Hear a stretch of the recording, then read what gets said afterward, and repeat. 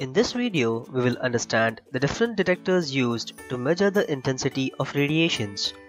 Analytical instruments employ these detectors to measure absorption or transmittance of radiation. The detectors in UV visible region of electromagnetic spectrum can be separated as photovoltaic cells or photoemissive cells.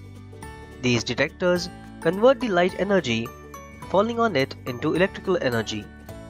The photovoltaic cells don't require external power to perform this conversion. The photovoltaic cell studied here will be a barrier cell. We know that EMR radiations consist of packets of energy called photons.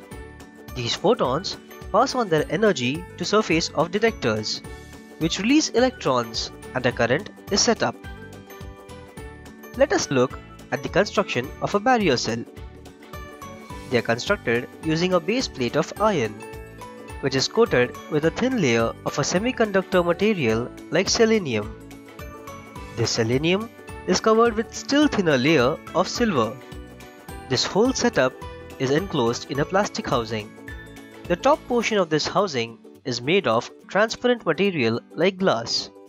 This transparent material allows light photons to pass and fall on the silver layer of the detector.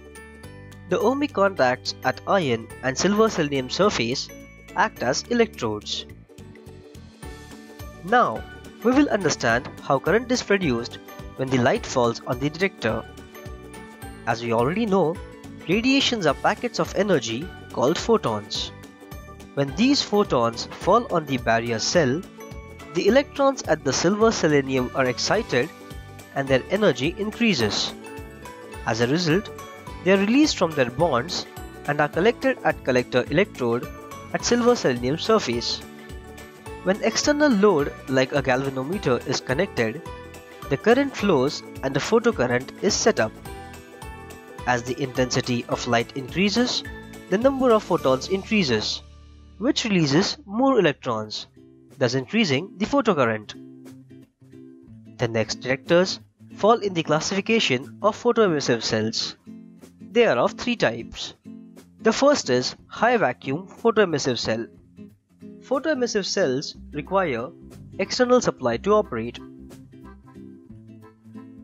Vacuum photocell consists of two electrodes. Cathode is made of cesium deposited on base of silver oxide. Anode is generally actually centered wire at the focus of cathode.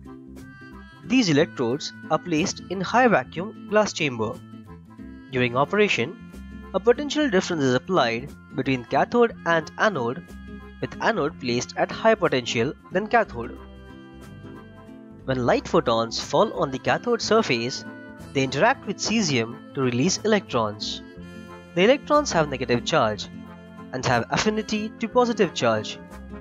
These electrons are attracted to anode, which is placed at the focus of cathode. When galvanometer is connected to the electrodes, it shows deflection as a current is set up due to the electrons released from the cesium surface. Again, the number of electrons released is dependent on the incident photons and thus intensity of light can be measured. The gas-filled photoemissive cells are the next type of photocells. They are same as high vacuum ones. The only difference is that they are filled with inert gas like argon. The next photoemissive detector is a photomultiplier tube, aka PMT. PMTs have high internal gain and are very sensitive to light photons. They are generally used for applications where light intensity is less, such as fluorescence spectroscopy. The tube consists of photosensitive cathode and multiple dynodes and an anode. The dynodes are placed at increasing potentials from cathode to anode. Each dynode is maintained at successively less negative potential. The cathode is placed at negative high voltage, typically ranging from minus 500 volts to minus 1500 volts. When photon strikes the photocathode, it ejects photoelectron due to photoelectric effect. This electron accelerates towards dynodes placed at higher potential. When this photoelectron hits the dynodes, additional electrons are generated at each of these dynodes. Due to multiple dynodes, around 10k to 10 million electrons are created for each photoelectron that ejects from the photocathode. The amplification is dependent on the number of dynodes and the accelerating voltage.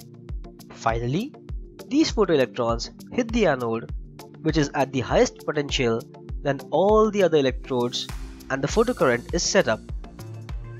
The next detector is silicon diode detector. The advantage of a silicon diode detector is low power supply and signal from the diode can be easily amplified using low noise op-amp. When a photon strikes a semiconductor, it promotes an electron from valence band to conduction band. This creates an electron-hole pair. The concentration of these pairs is dependent on the intensity of light striking the semiconductor.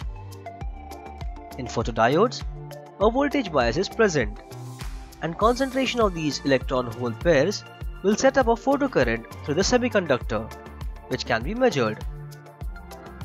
That's all for this video. If you like the video, to subscribe to the channel and share the video with your friends and peers. Hoping to hear from you in the comments below. Stay calm and keep learning. Peace out.